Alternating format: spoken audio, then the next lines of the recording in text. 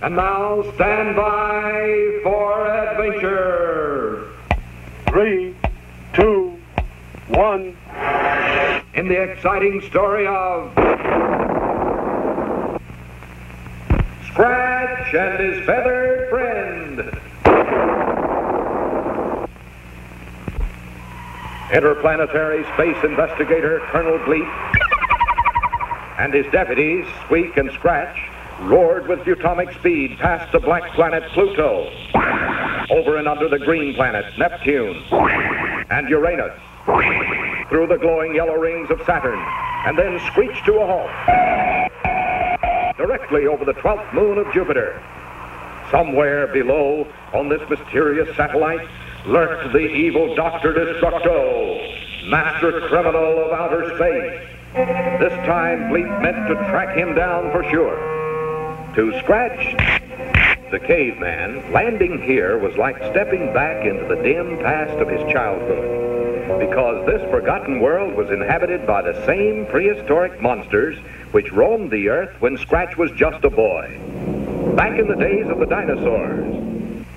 Anxiously, Bleep searched the horizon with his Futomic Visoscanner and quickly spotted Destructo's hideaway, high on a rocky cliff beyond.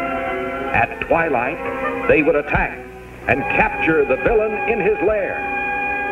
Meanwhile, Squeak settled down on a cozy bed of soft green ferns to rest until zero hour. And Scratch, remembering his childhood, went happily off in search of a tasty prehistoric egg, a luscious treat he had not enjoyed for several thousand years.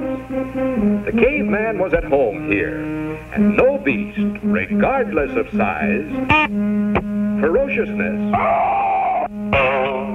or cunning, could frighten him or keep him from finding that egg.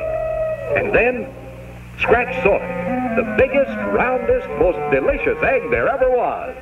But when Scratch reached to pick up his prize, it suddenly began to shake and rattle and roll round and round. The caveman dove under a feather to hide just as the great egg shattered. And there stood a strange bird, a super bird, far larger than Scratch himself. Thinking the top of Scratch's head was another egg, the bird tried to peck it open too. And when Scratch leaped up, the bird felt sure this was his newly hatched brother, and he began to hug the caveman joyfully.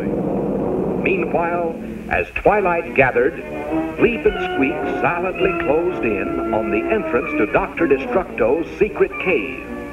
A strange glow from within meant the mad scientist was busy at work, and his capture looked easy if only they could be quiet enough to surprise him. But just at that moment, Squeak accidentally squeaked, alerting the huge vampire bat which stood guard at the mouth of the cave. The evil creature lunged towards them. At the same time, Bleep aimed a blast of futomic energy at the beast. But too late, he realized that the long trip to Jupiter's 12th moon had completely discharged his futomic storage batteries. Now, the great bat swooped upward, clutching the helpless pair.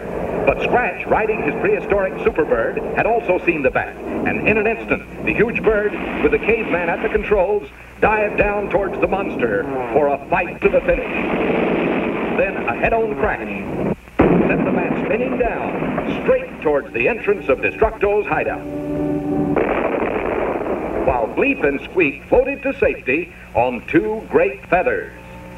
Yes, Scratch and Superbird had saved the day. But there was no time now to check on the fate of Destructo, because Superbird was waiting to fly them back to the planet Futura, where a new supply of futomic energy and another exciting assignment would be waiting for Colonel Bleep of the Interplanetary Space Command.